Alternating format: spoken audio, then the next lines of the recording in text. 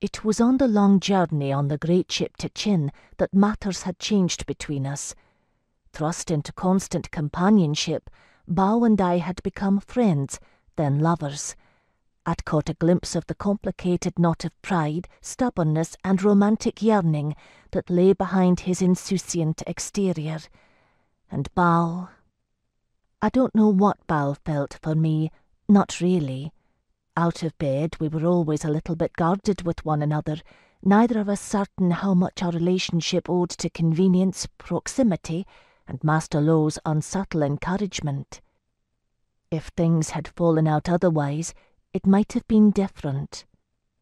But once we reached Shuntian, the imprisoned dragon's jealousy had come between us, forcing us to be circumspect in our behaviour. Later, we had said to one another, later. Over and over, in stolen moments throughout our long quest, we said this to one another. When this is all over, if we live through it, we will talk. Later. A lump rose to my throat, forcing me to swallow hard. My hands trembled on the reins. There had been no letter, because Bao had died. It was a moment etched in my memory. The captured sorcerer black sleeve turning in a graceful, unrepentant arc, the deadly sleeve of his robe flaring wide, a spray of poisoned darts. The dragon's helpless roar. Bao whirling, his broken staff in two pieces in his hands, intercepting the barrage. Bao dying. One dart a single dart had gotten past him, had pierced his throat beneath the chiselled angle of his jaw. It had been enough. I breathed the breath of ocean's rolling waves, the most calming of all the five styles. I let the memories wash over me. I should have known. Of course I should have known. Master Lo had as good as told me.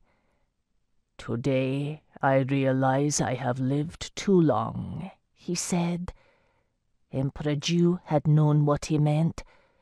For the first and only time, Master Lo had asked me to share my gift with him, his dark eyes grave and anguished. Are you willing to give a part of yourself that my magpie might live? I remembered my frantic reply. Anything! I should have known, but I didn't.